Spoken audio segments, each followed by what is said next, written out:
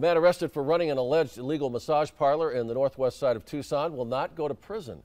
Charles Kraus pleaded guilty to solicitation to commit money laundering.